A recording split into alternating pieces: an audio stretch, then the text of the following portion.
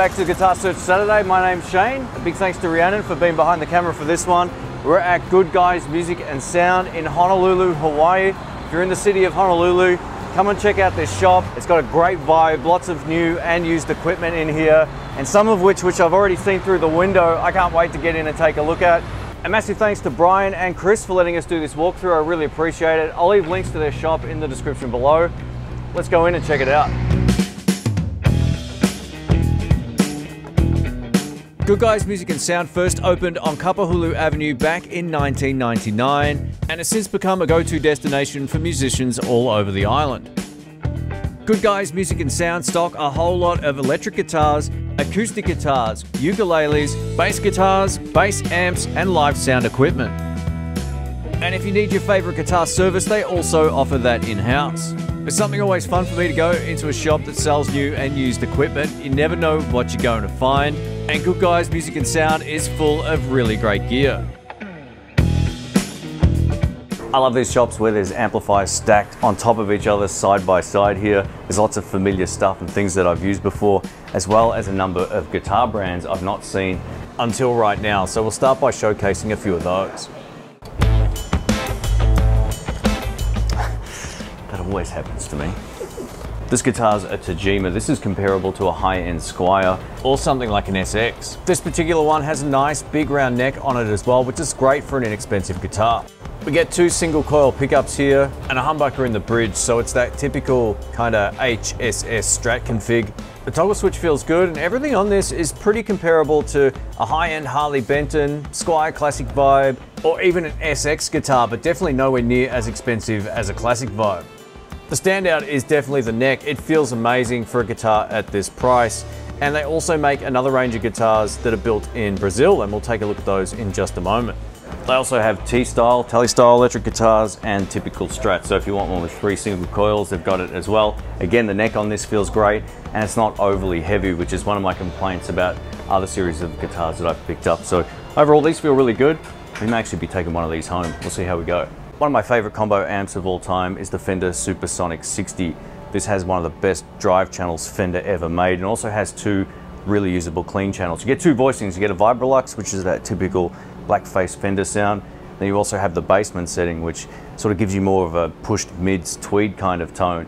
I never loved the stock speaker and I just looked at the back of both of these and the speakers have been changed to much better options. This one over here has a Jensen and this one over here has an upgraded Celestion speaker, but Interestingly enough, for a short period of time, Fender discontinued these, then they re-released them. So I don't know what happened there, but the Supersonic 60 is definitely one of my favorite combos ever.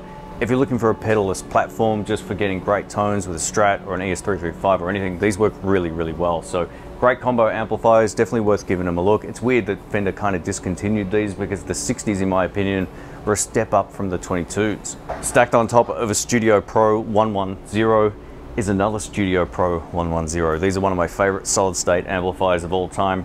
Right behind the Peavey Bandit, these teal stripe ones sound really, really great. These things are bulletproof and they're ear bleedingly loud considering they've got a 10 inch speaker. These amps are great for beginners or anyone who wants to just do any type of live playing where you don't really want to compromise your tone, but you still want something that's plenty loud that you don't have to worry about as much. So Peavey man, back in the day, big thumbs up. I've just found something that I didn't expect to see in here from Gallien-Krueger. So here it is up close. This is the 100 watt Gallien-Krueger lunchbox amplifier. I borrowed one of these off a good friend of mine, Dave, so shout out to Dave. It's rated at 100 watts RMS. Even though it's tiny like this, these things are loud as, this amp weighs a ton, but we get a clean channel over here. We also get a gain channel, which allows you just to basically use it as it is. This is more aimed towards someone who wants to rock. It's a pretty heavy sort of sound. We also get an echo delay and chorus over here as well, thanks to these push buttons. So a very functional amp. We also get a direct output so you can go directly into a PA system via an XLR microphone cable. I don't think there's been many companies that have made anything quite this robust since this in a small package. So it's great to see one of these. This is the first one I've seen in a secondhand guitar shop. Here we have an original 1965 Fender Super Reverb, my favorite amp of all time. The great thing about this is it looks like it's in immaculate condition because it has been repaired slightly. They said that it's been re-Tolexed and some of the speakers have also been replaced in the back. But other than that, it's in awesome condition, original electronics. Like the Fender Twin, we get two separate channels. We get a normal channel, and then we also get that vibrato channel that shares the reverb circuit as well. And that's where I would live. Now, the cool thing about this amp, even though it's huge, it's only rated at 45 watts, which is far less than the 100 watt of the Twin. So these don't stay clean the further you turn them up. They actually get dirty and gnarly. And if you've ever heard Tommy Castro live at the Fillmore, he played with one of these cranked. It's one of the best blues guitar tones of all time.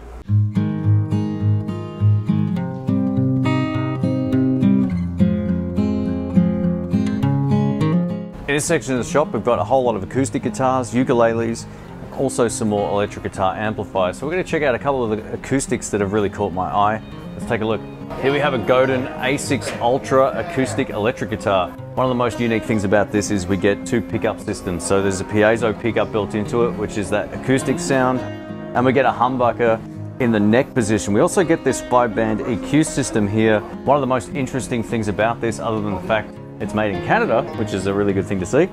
It also has two outputs on the back of the guitar, and I'll show you those up close in just a moment, but it allows you to either get a blended signal out into one source or a designated left and right signal out, whether that's the acoustic or electric going into an amplifier or a PA system at the same time. And then you can kind of blend them with the volume controls on the guitar. So these are beautiful. I reckon one of the most highly underrated guitars of its type. I know Fender do very similar things to that now, but Godin, man, these ones are the way to go. Here we have the Fender Redondo acoustic guitar. This doesn't have a pickup system, it's a straight up acoustic. It's a three quarter size acoustic, so it's far smaller than a normal one. And we get the Fender Stratocaster headstock and a very electric guitar vibe on the neck, but super cool, man. What a great little guitar.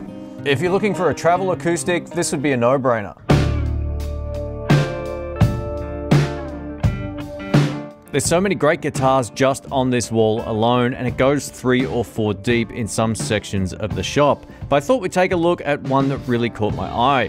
What you're looking at is one of the high-end electric guitars from Tagima. This is the Jet Blues Cosmos. This Lake Placid blue looks beautiful, and Tagima make their own pickups in-house.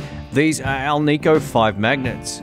We get a cedar body and a Pau Ferro fretboard with 22 frets. The Varitone selector that you can see down the bottom of the guitar gives you five different voicings with exactly the same pickups. This changes the response of the pickups on the high, low end, and how much sparkle and bite you can get. Take a look at this arch top. It's absolutely beautiful. I knew nothing about this guitar, so I hassled Brian to do this section on the video. Thank you so much, Brian. Let's check it out. It's a the Kisto and it is made in Japan early 2000s single I think it's a Kent Armstrong Johnny Smith neck mounted pickup. Yep. um, spruce top. Has a beautiful maple curly maple back. Yeah, that's something else. yeah and it's actually a used one that uh, we originally sold it to, to a customer a while back, but he, he uh, traded it in or something. I can't remember. Beautiful. This is the sort of thing you don't find every day in your regular guitar shop. Thank you so much, Brian, for giving us the rundown of this beautiful guitar. Good Guys Music and Sound also carry a big range of new Fender guitars, and one in particular I wanted to take a closer look at. Here we have a Fender Thinline Telecaster made in the US. For years, Fender were making these in Mexico, and they were pretty solid instruments, but this, in my opinion, is the way to go, and I'm going to tell you why. The wide range humbuckers weren't my personal favorite pickups of all time, and having traditional single coils in a guitar like this is awesome. Thing that you'll notice as soon as you pick this up is that it's about seven pounds, just under seven pounds in weight, so it weighs absolutely nothing. Definitely one of the lightest electric guitars we've had a chance to check out. We get vintage style tuners on the headstock. String just goes down, and these are my favorite as well. It means taking strings off when you have to do a string change is nice and simple. So I'm a big fan of those kind of tuners. They're actually my favorite, even over locking tuners. We get the three saddle bridge down here, not brass or anything, but I think on a guitar with this sort of styling, the chrome looks far better. As you can see, this is a limited edition one, so a Fender special run, meaning you probably won't find this in a year from now. So if you're keen on this, check out the shop. I'll link it below.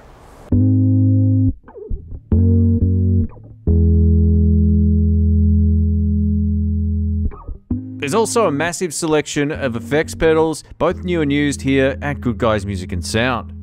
Some of the brands include T-Rex, Boss, Fender, NUX, Keeley, Digitech, Marshall, and many others. The NUX Steel Singer might be the most affordable Dumble in a box pedal I've had a chance to test. I did a full review of this range of NUX pedals and this one really stood out. I think if you're looking for a really thick overdrive tone, this would be a no-brainer. Here's a delay pedal you don't hear a lot about. This is the Mr. Echo from SIB. One of the best features on this pedal is the slam button on the left. What this does, it takes the pedal irrespective of the settings and puts it into full oscillation mode. And then you can release the button and it goes back into regular mode. So for those who like to get a little bit crazy from time to time, this pedal will definitely deliver.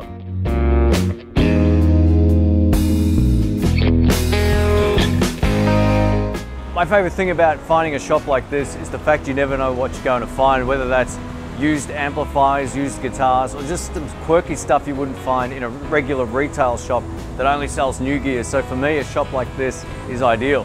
Thanks for watching folks. My name's Shane. A massive thank you to Brian from Good Guys Music and Sound here in Hawaii for letting us do this walkthrough. Just to let you know, this video is not sponsored. So a massive thank you to the Patreon crew and the channel members for their support. It allows us to do really great things like this. And also a huge thanks to Rhiannon for being behind the camera, improving the quality of this particular series. So thank you so much. I hope you enjoyed this video. Links to them will be below. Catch you soon. See ya.